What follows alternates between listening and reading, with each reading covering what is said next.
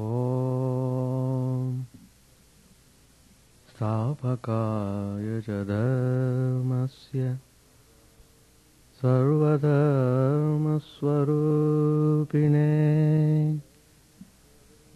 स्थापकाय च धर्मस्य सर्वधर्मस्वरूपिणे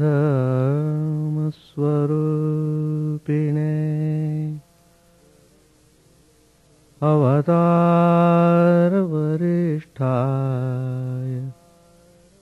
रामकृष्णाय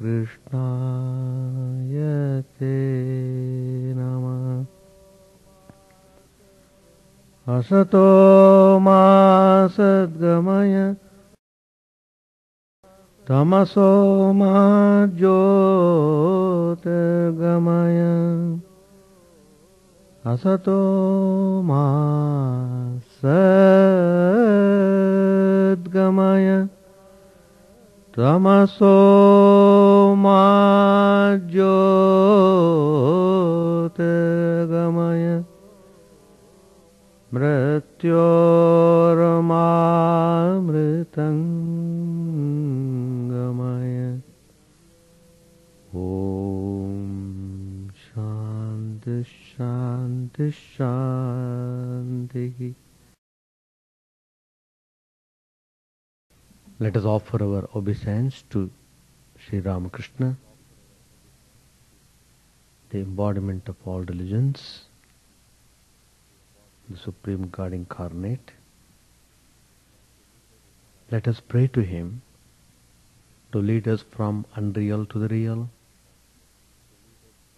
to lead us from darkness of ignorance to the light of knowledge, to lead us from death to immortality. Today's subject I am speaking, that thou art.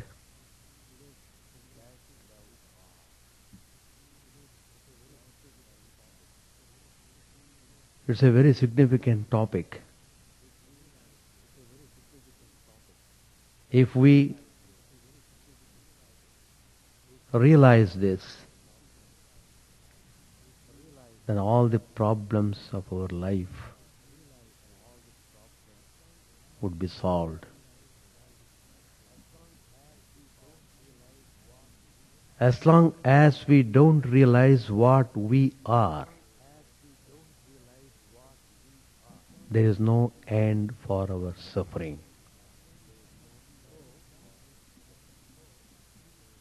So, the very fact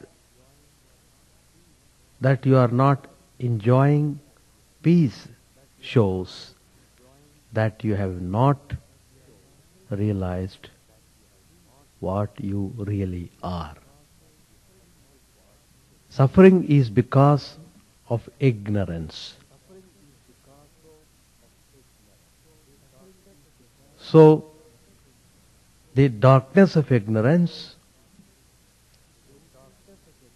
must be removed by lighting the lamp of knowledge.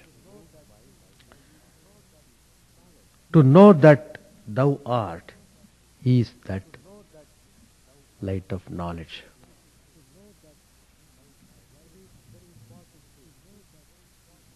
It is very important to dwell our mind on this theme. You know, there are many scriptures in the whole world dealing with spiritual ideas. We have Vedas to deal the same subject. They contain the perennial philosophy of Vedanta.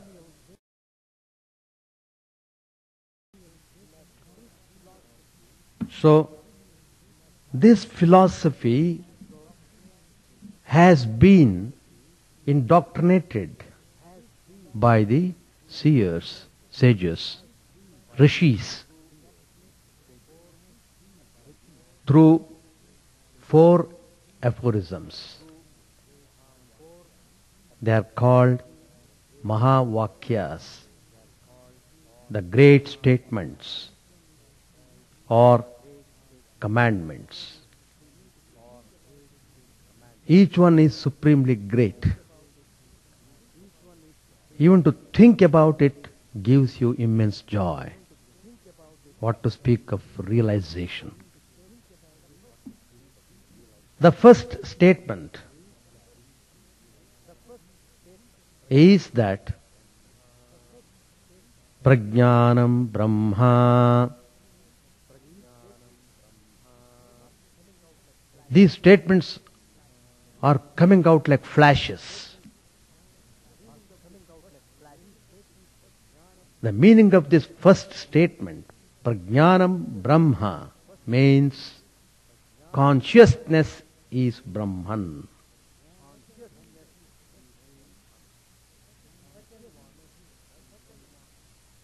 The second one, Tattvamasi, the subject which we are dealing today.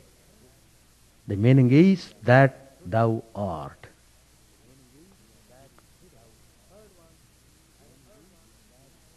The third one, Ayam Atma. This self is Brahman. The fourth one is called Aham Brahmasmi. I am Brahman. These are the four famous statements giving you the wonderful glory of truth. Spend your life in realizing this truth, you will be splendid. You won't have to suffer. There is no point in simply lamenting over the darkness. Bring the light of, bring the light, bring the lamp. Darkness will go automatically. So that means open up your mind. Get rid of all narrowness and all rubbish tendencies occupying the mind, not allowing you to remain peacefully. Remove all those negative tendencies through rigorous spiritual practices. Then you will be able to find out the most precious gem in your own heart, which has been described by these four statements. All these refer to the same principle the light that dwells in everyone's heart. The first aphorism, which I just now said, Prajnanam Brahma, consciousness is Brahman. This famous statement occurs in Aitareya Upanishad, which comes in Rigved. All the four Vedas, Rigveda, Yajurveda, Samaveda, Atharvaveda, these four Vedas have got number of Upanishads, fountain of knowledge. These Upanishads keep on showing you the way. Oh, why are you suffering and suffering in this world? Come this way. This is the path of light. This is the path of knowledge. Come on. Enjoy the bliss. So this aphorism makes a general declaration that consciousness is Brahman. Consciousness in an individual is the same consciousness underlying the entire universe.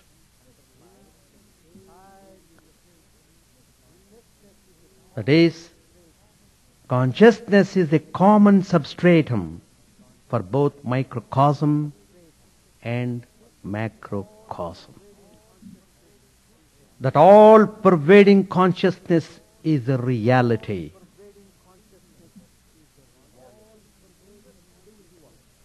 Consciousness in an individual is like space in a pot, while the all pervading consciousness is like total space.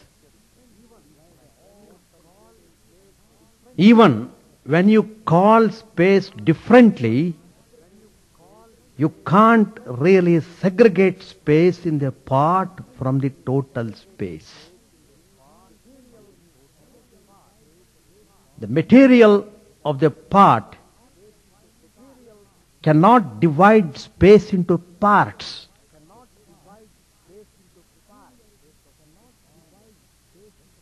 For the sake of convenience or particular reference, you may give space different names as pot space, room space, open space, etc. But space as such is indivisible. So space is one homogeneous entity. Part space or whatever other space you call it. And the total all pervading space are one and the same. That's the beauty. Similarly, you may give consciousness different names with respect to different embodiments. But consciousness remains ever one homogeneous, all pervading reality. That is what the first aphorism pronounces Aham Prajnanam Brahma. I am giving you in nutshell the brief meaning of these wonderful great statements. The second one, Tattvamasi. This occurs in Chandogya Upanishad that thou art. It comes in Samaved. It is a universal declaration to all mankind that thou art. That refers to the supreme reality. Thou refers to the core of your personality. The supreme self that is enveloped by the five layers of matter in you. The aphorism explains to you that it is your own self that pervades everywhere as reality.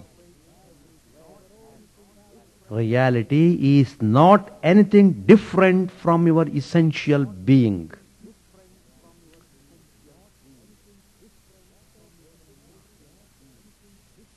To take an example, the waters of the ocean evaporate and form clouds. When the water vapor is saturated in the clouds, there is rainfall. Rainwater collects in the valleys of the mountains and flows down into the plains as rivers. Rivers assume their distinct individualities. Nevertheless, they are all water and water alone. Water in river and water in ocean is one and the same.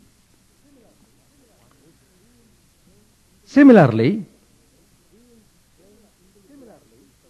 beings claim individualities of their own. But consciousness in every being is the same as the all pervading consciousness. Your self is infinite reality. That reality thou art. This aphorism is in the form of an advice to a seeker of truth. So, it is called Upadesha Vakya, the statement of advice.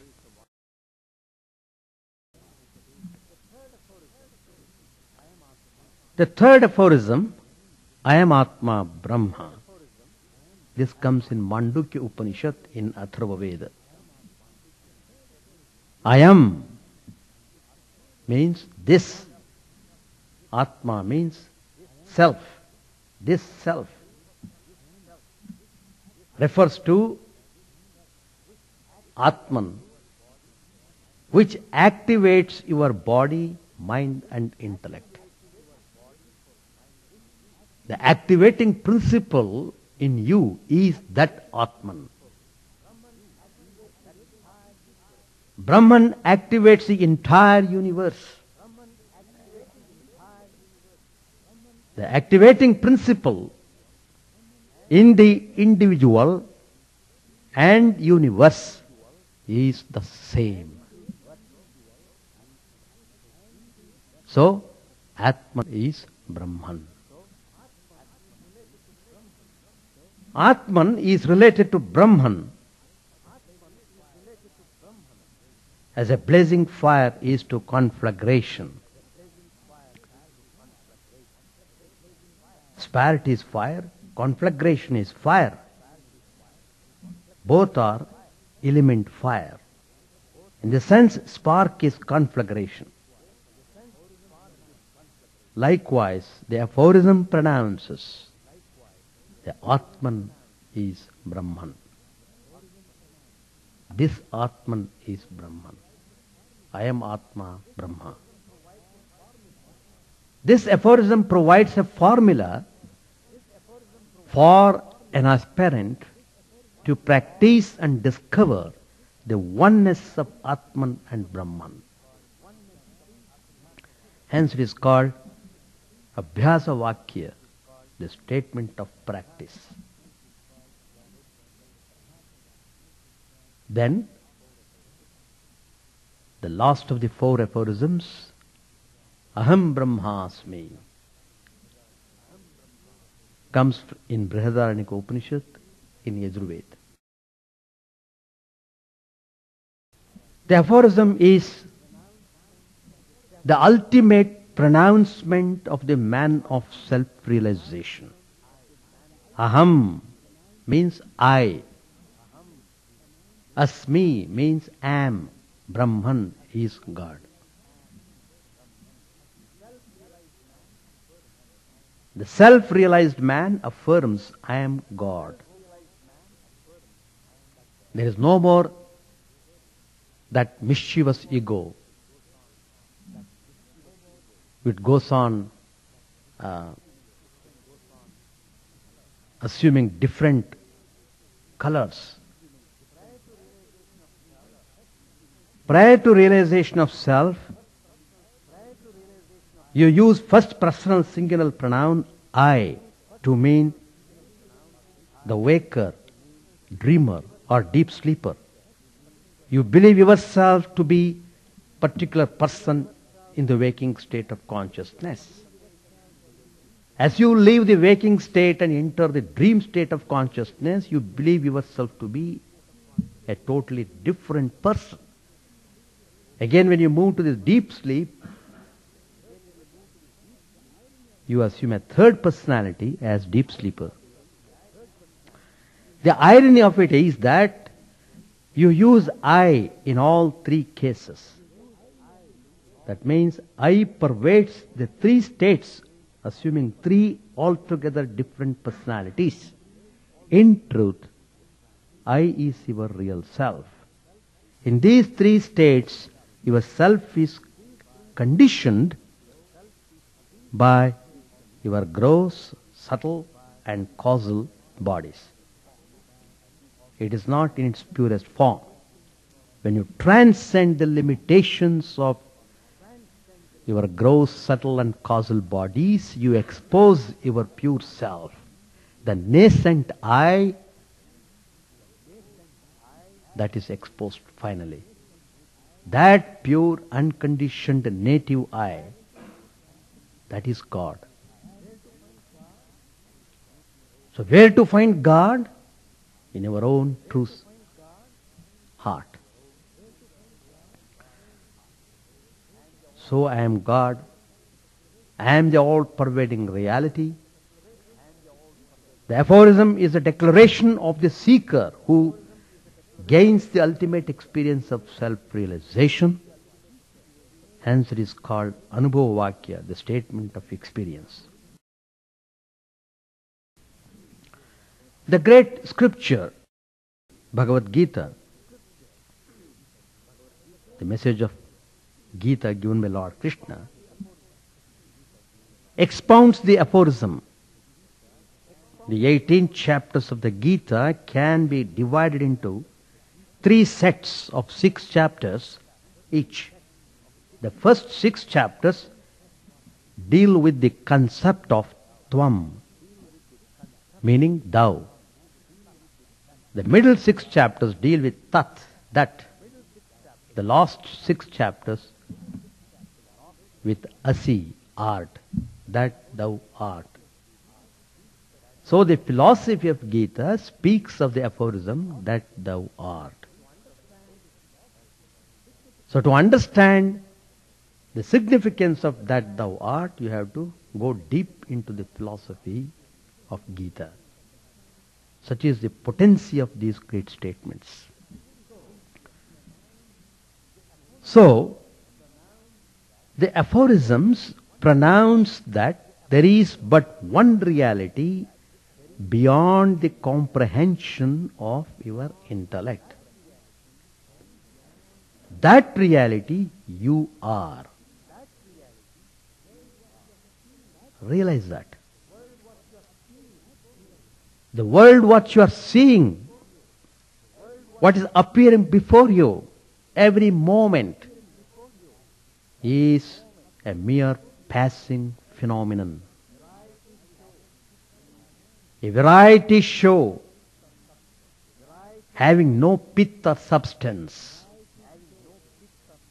You are now lost in this empty show. All because of ignorance of your own self. Don't grope in the darkness of ignorance anymore. Regain the knowledge of yourself. Instantly you merge with reality beyond the realm of time, space, and causation. Then only will have achieved the final goal of the life. Ordinarily, we see that everyone uses the term I to mean one's reincarnated personality. No one employs I to indicate one's eternal self or Atman. It doesn't mean by that.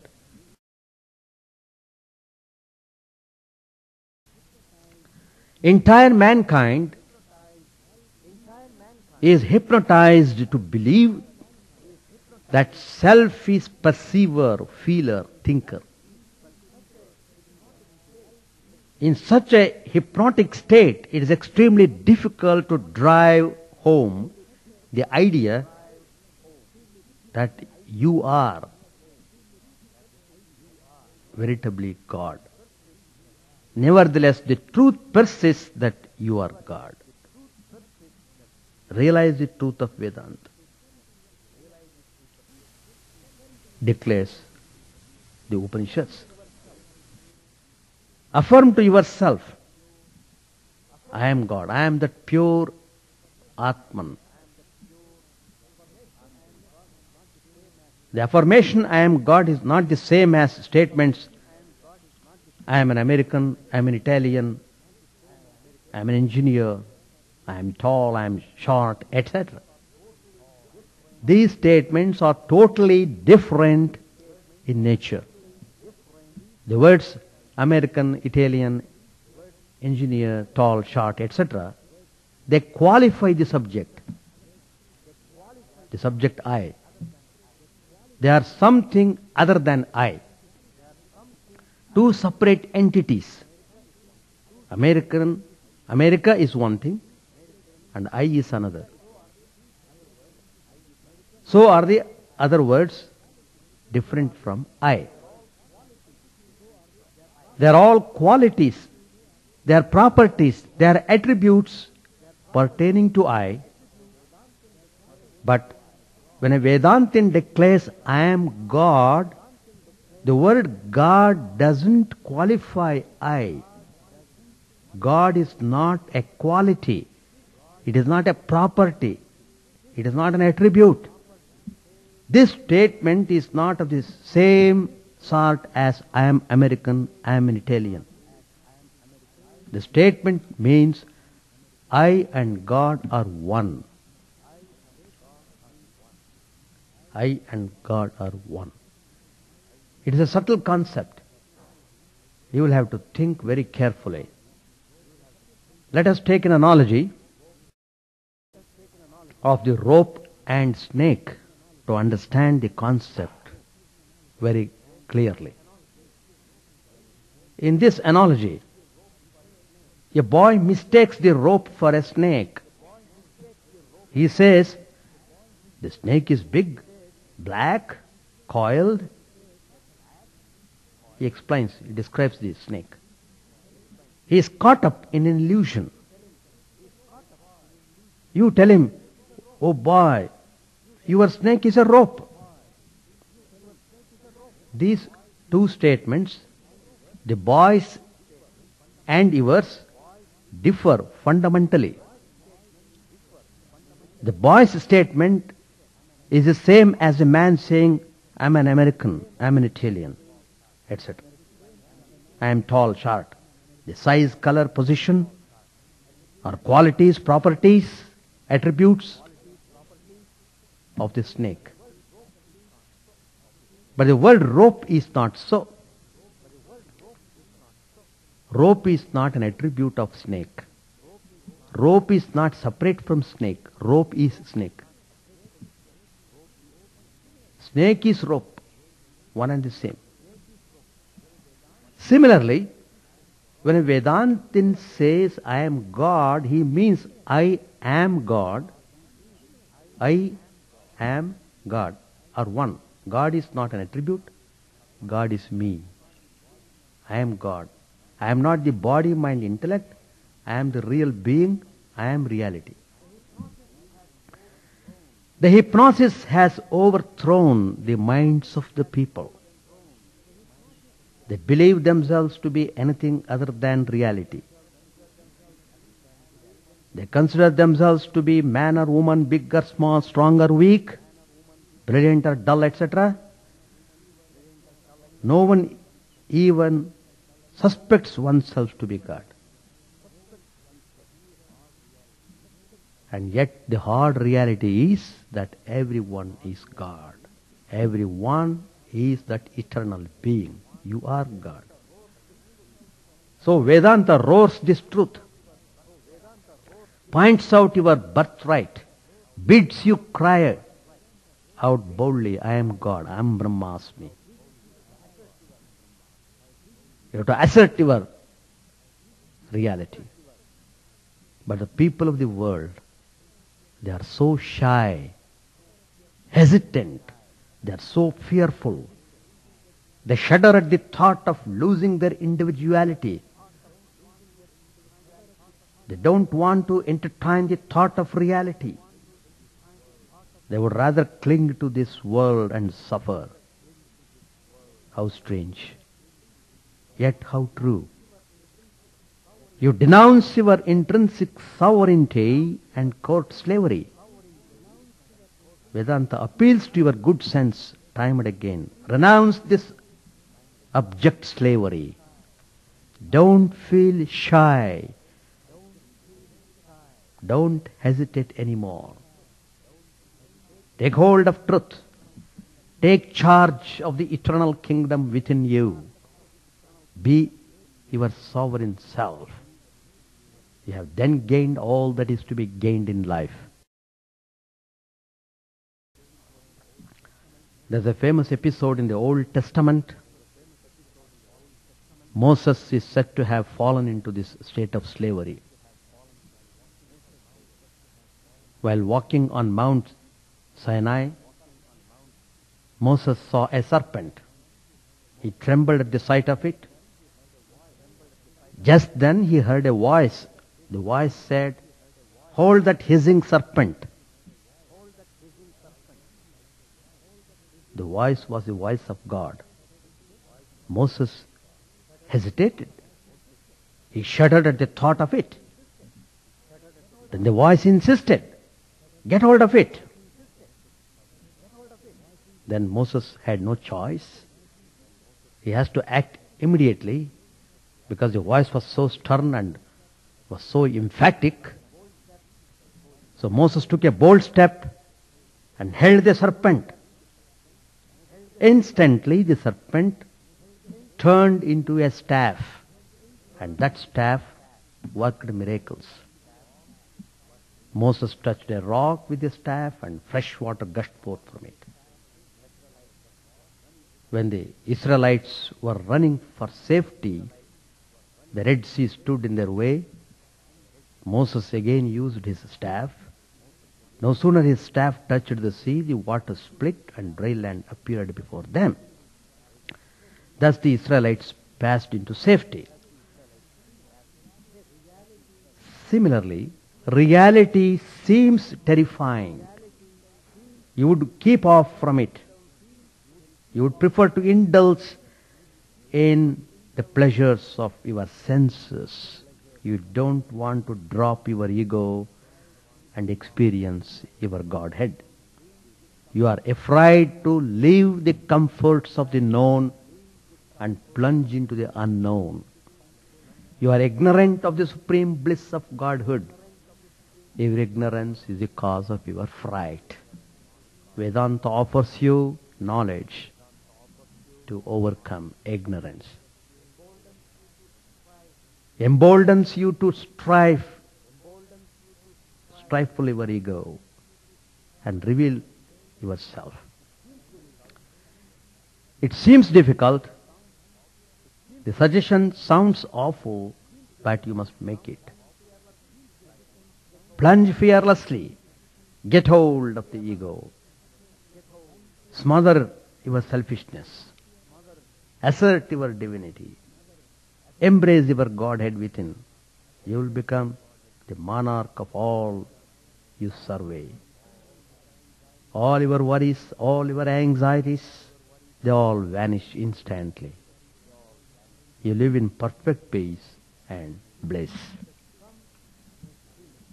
Some may think that it is blasphemous to believe themselves to be God. What?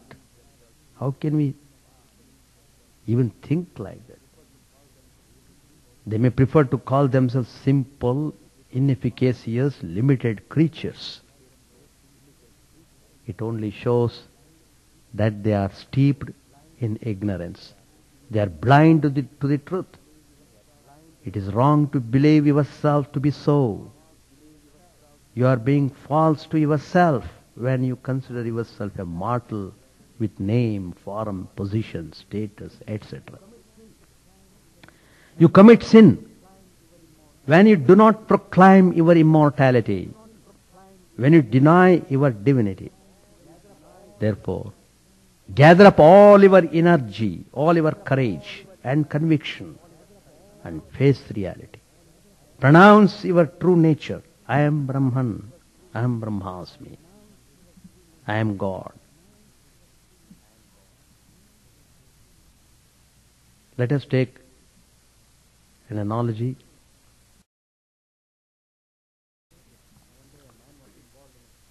One day a man was involved in a serious car accident. His brand new car was completely smashed. He suffered a great loss. The same evening, he returned to his home and he arranged a big party. Invited all his friends for a good dinner. All the friends came, they enjoyed the various dishes, and they were curious to know why this party was arranged. What was the reason? So they wanted to know about this kind of uh, happy function. The man told them what had happened. The friends were astonished.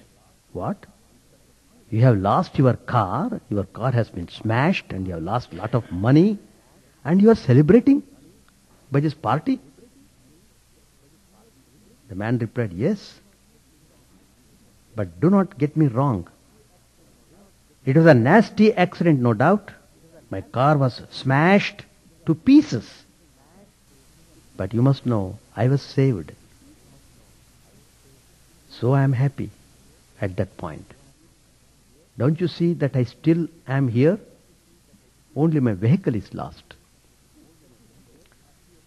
This episode appears to be ridiculous. You think this man is rather queer. You laugh at his behavior.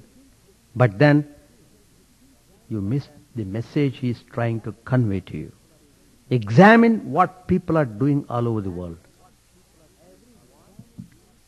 Everyone is saving one's vehicle at the cost of one's self.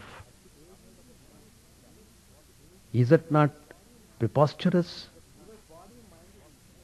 Your body, mind and intellect is your vehicle. Atman is yourself. You are worried all the time about your vehicle. You are never concerned with yourself. You care more for your vehicle than yourself. You have lost yourself and preserved your body, mind, intellect. What a colossal blunder. And yet you are not aware of it, much less concerned. It's a great wonder that you have forgotten your Godhead. It's a strange oblivion that makes you forget your own self. You must now reverse the process. Don't pamper your body, mind, intellect anymore. Lay the accent on yourself. Assert yourself. Be yourself. You are God already. You have to take some rigorous steps to arrive to experience this truth. Finite is infinite in a way. Vedanta proves you that finite itself is infinite. It sounds absurd. But when you study the finite closely, you find it to be true. Infinite is infinite is infinite. Let us consider the finite entities one by one. Mineral, vegetable, animal, and human. Let us examine them, analyze their nature. You will arrive at the same conclusion. Let us take, for example, mineral kingdom. It is matter. Matter is made up of atoms. An atom is so minute, yet it contains enormous power. The atom bombs speak eloquent of that great power. Imagine the power contained in the millions and billions of atoms packed in finite matter. It is infinite. Let us consider the vegetable kingdom. Take a seed, sow it in the earth. The seed germinates into a plant. The plant grows into a tree. The tree produces thousands of seeds. So these thousands of seeds, you get thousands of trees again. They produce millions of seeds. So the millions of seeds, you get quadrillions, quintillions of seeds and trees. Just imagine all these spring from a single seed. Does this phenomenon end here? No. It doesn't. It goes on ad infinitum. There is no end to production of seeds and trees. Thus you see unending power generating from one simple seed. A finite seed has therefore infinite potential, infinite potency, infinite power. Infinite is concealed in the finite. The Vedantin has trained himself to perceive the infinite in the finite. That's the idea. Suppose you take the animal world, there too we see how the infinite is being betrayed in the finite. A cat produces a little litter of kittens. That kittens grow up into cats. These cats in turn produce many more litters. Thus it goes on endlessly. Countless cats emanate from a single cat. The same principle holds good in the human species as well. You have the capacity to produce innumerable human beings. There is no end to your potentiality. Finite though you may be, you have infinite potency and infinite power. There is infinity in the finite. This appears true with respect to your past and future. But what about your present capacity? You feel yourself to be a limited creature as regards your present state. But that is not so, Vedanta says. Even with respect to your present state, you possess that infinite capacity, that infinite potency, that infinite power. How is that? Let us analyze it. Let us carefully analyze our daily activities. What have you been doing since you woke up this morning? List them out. You woke up, read the newspaper, breakfasted, drove to office, etc., etc. And you are now reading this literature. Is that all? Have you not done anything beyond this? Perhaps more. If you observe carefully, you may list a score or more activities. After that you say, that's all. I have not done anything more than what I have enumerated. Now, follow closely. You have actually done much, much more. You don't seem to be aware of them. You have executed innumerable activities which you don't mention. For example, your eyes have become engaged in seeing many objects. Each time your eye sees an object, the muscles in your eyes are subject to a series of subtle actions before the sight is registered. All these activities emanate from you. You are responsible for them. Again, your other sense organs, ears, nose, tongue, and skin, they are all extremely busy with their respective activities. They have gone through innumerable actions. All these activities are also yours. You have produced them. Similarly, your mind has entertained manifold feelings and emotions. You have produced each one of them. Your intellect has conceived numberless thoughts. You have produced them all. Again, consider your other activities like respiration and perspiration, eating and drinking, evacuation and digestion, and distribution of food, etc. Countless cells in your body, hair on your skin, blood in your veins are all functioning. They are all functioning through you. At this very moment, you are producing You are pronouncing infinite actions. Remember this. Realize this. What you call as infinite is in truth infinite in nature. Infinite in nature. Vedanta wants you to recognize your innate power. You must develop truth in your own self. You are not a finite, limited, miserable creature as you think yourself to be. You are infinite. You are God Almighty. Nothing short of it. That is the truth. Now hold that view at any cost. Don't compromise. Assert yourself. I am all. I am everything. The microcosm and macrocosm are in me. I am infinite. I am God.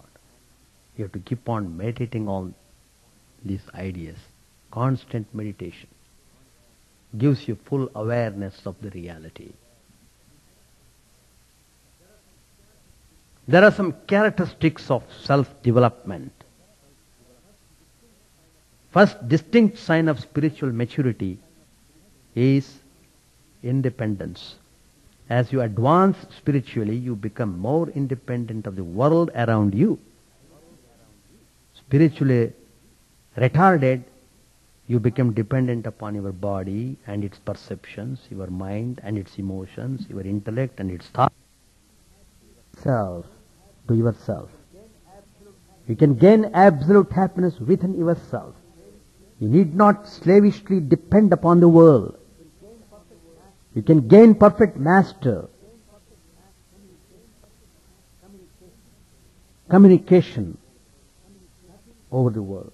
Nothing in the world can affect you. You become independent of environment and circumstance. You are then truly spiritual. You may wonder as to how you can remain unaffected by the world. How can you ever be free from the persecutions of your body, mind and intellect? How can you keep a balance of mind in the midst of trials and tribulations of this world? How is it possible to overcome the influence of the world around you? The answer to all these questions lies in the secret of separating yourself from its association with body, mind, intellect. As long as you are attached to your body, mind, intellect, you are tossed and busked over by the world. So, detach yourself from them. Be yourself. The world remain, the world can never touch you. You will remain immaculate, uncontaminated by the world. When the coconut is raw, the kernel sticks to the shell. Kernel and shell are together. If you break the shell, the kernel also breaks. This is a common experience. But what happens when the coconut dries up? Let the coconut dry up completely. You will notice the kernel separating clear from the shell. Kernel is free. It shakes within the shell like a rattle. Break the shell of the dry coconut, the kernel remains as it is. Kernel does not break. It is unhurt, uninjured. The same is true of yourself. So long as you identify with your body, mind and intellect, you are affected by. When you, your body, mind, intellect is affected, you are affected. But when you detach yourself from them, you remain unaffected, unchanged, equanimous, notwithstanding any damage inflicted on them. You gain freedom, liberation, independence. That is the characteristic of a spiritual person. Then, universal love. The love that people claim to possess is far from true love. It is preferential love uneven love. A man loves his own children, kith and kin, because they cater more to his personal demands, physical, emotional and intellectual. True love is universal, even same to one and all. Love in its purest form can never be concentrated in one form. The more you develop such love, the more self-developed you are. Universality of love is one of the traits of individual perfection. Study life of Lord Christ. His love was uniform. It was unabated in the worst of circumstances. When he was crucified, he maintained the same feeling. His love poured, poured out to those who nailed him on the cross.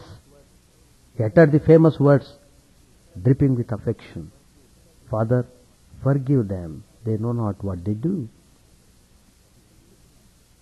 That is the universality of love. Then objectivity. It is one of the most striking qualities of the spiritually evolved ones. Objectivity means maintaining an impersonal attitude in life. Being objective is opposite of being involved in the affairs of the world. Learn to look at the world objectively as you would a picture on the wall. Be a witness, an observer to all happenings in this world. Watch the procession of perceptions, emotions and thoughts go by. Attune to yourself. Treat your body, mind, intellect as something other than you. The world of objects and beings affect your body, mind, intellect, but it can never touch your real self. Retire to your own self and look life with tongue in check. That is objectivity. That is spirituality. Another positive character of spirituality is cheerfulness. Cheer develops in a person commensurate with his spiritual awakening. Lord Krishna is personification of this wonderful character. Krishna's entire life was infested with continual trials and tribulations. He had to face the greatest oppositions and challenges. Yet, he remained ever full of mirth, full of fun and frolic. He was a picture of cheerfulness. If you study the life of Sri Ramakrishna, how he was always cheerful all the time, even when he was intensely suffering from cancer. So whenever people would come to him, he would speak to them lovingly, giving them the wonderful touch of love. So the next point is dynamism. As you love, as you evolve to higher perfection, you shed your laziness, indolence, you become brighter and more active, you become dynamic in the real sense of the term. So, detect your shortcomings, rectify them, thus unveil your real self. Self alone, thou art. Know thyself. The aphorisms declare that thou art God. Godhood is not something that you gain or lose. Godhood is your essential being at all times. If that be so, what exactly is the difference between your pre and post realization states? Before you realized God, you are God. After you realize God, you are God. Then what is the change brought about by realization? Is there a change at all? Yes, there is one significant change. That is your awareness of Godhood. No doubt Godhood is your perennial being, but before realization you are not aware of your Godhood, whereas after realization you are aware of your Godhood. That's the difference. That's all. Awareness. As long as you are not aware of your Godhood status, you are always bound to suffer. There is a story to explain this idea. A famous story known to everybody. Once there lived a king and queen. They were blessed with a boy. It was a baby. It so happened there was a terrible deluge, sudden flash of floods. All the homes and uh, streets were flooded with water. And the king and queen thought we have to take some steps to save the baby because there is no hope otherwise. So the baby prince was thoughtfully placed in a floating cradle. By the time they did this, the gush forth of the water was so heavy, even the king and queen were drowned. It was a dreadful blow to the people of that state. Gradually the waters receded. The ministers took stock of the situation. They found the bodies of the king and the queen, but no trace of the baby prince. Soon they launched a statewide search for the missing prince. There was one clue. That clue was a big black mole on the baby's left shoulder blade. Was the only clue of the baby. The search went on for several years while a resident took over the administration of the state. In that very state, there was a beggar. For 14 years, the beggar was accustomed to beg for alms in the marketplace. All the people, shop owners, they knew, they knew him well. Some obliged, some spurned him, some were indifferent towards him. And twice he was whisked away by the police and admitted in a beggar home. But then he escaped from there, continued his begging again. A third time, when he was do, doing begging, the police caught hold of him. The beggar pleaded desperately for his freedom, but the police were determined this time. They took him straight to the uh, administrative office. The resident conferred with the ministers. They examined the beggar carefully. Finally, they found out there was a big black mole on his left shoulder blade. They were all surprised and they were all very happy to declare that he was a missing prince. So they crowned him immediately as a king. The entire state became very happy to know that. The boy took time to realize the full implication of his sudden fortune. It was a year before he settled down and established himself on the lawful king of the state, as the lawful king of the state. Having done so, one day he disguised himself, his old beggar clothes, and went into the market begging for alms. The shop owners were surprised to see him after a long lapse. As before, some obliged, some spurned, some were indifferent towards him. He returned to the palace. Now carefully analyze the difference between the two experiences of begging, before and after he became the king of the state. In both experiences he faced variations, fluctuations, alternations of the outer world. In the first case he was affected by them. In the second case he was not. He stood well above them. He had nothing to do with them. External happenings could not touch the periphery of his personality. How did this change come about? Is it because the beggar became the king? No. That cannot be the reason.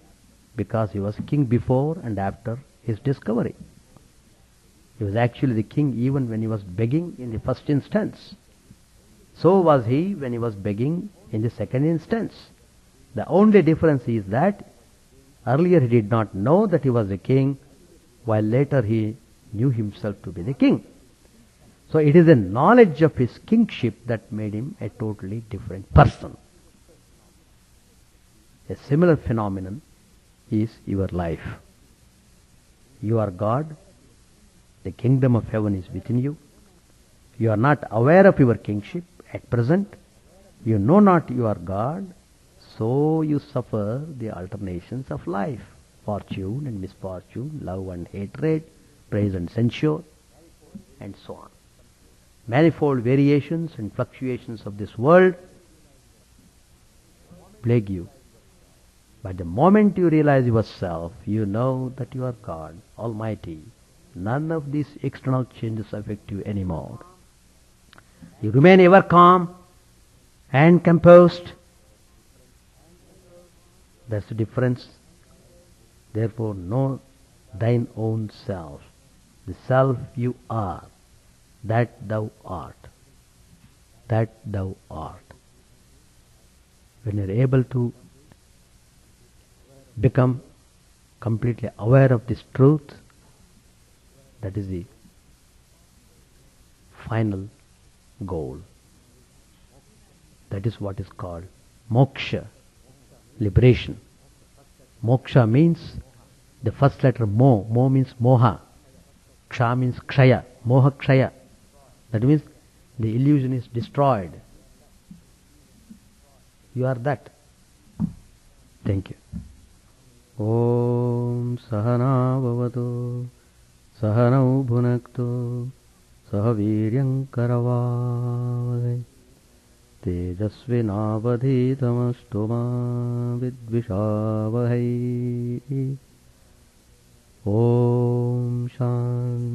शांति शांति हरिः ॐ तत्सत्। May the divine supreme protect all of us may he nourish all May we all work in harmony with great vigor. May our study be illuminating and fruitful. May we not hate each other. Peace, peace, peace be unto all.